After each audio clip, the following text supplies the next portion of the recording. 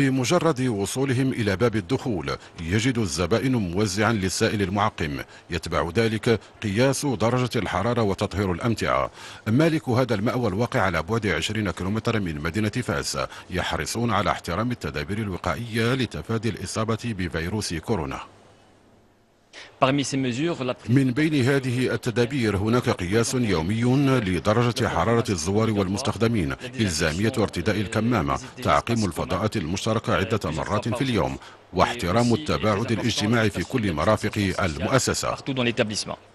رغم أن صيف هذا العام متسم بتفشي الفيروس هناك إقبال ملموس لكن يتعين على الإقامات السياحية التقيد بالتدابير الوقائية كتقليص طاقة الاستقبال إلى النصف لضمان مسافة التباعد وتصفية وتطهير مياه المسبح.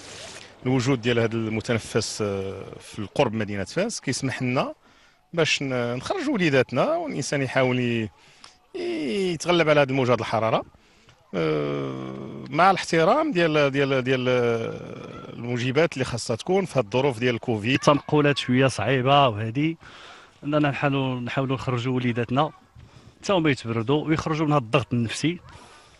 لهذا تنقلبوا على بلايص اللي اللي اللي فيها ظروف ملائمة. كاين التعقيم كاين لي بابيط كاين بالنسبة لي شومبر تيتبدل داك الشيء كل صباح. تنجيبوا وليداتنا وحنا مرتاحين علاش هربنا هربنا من الازدحام وداك الشيء ومن الخوف من, من المرض. الله يشافي الجميع. بالنسبة للمصطفين أصبح الأمن الصحي بنفس أهمية جودة الترحيب وسعر الإقامة.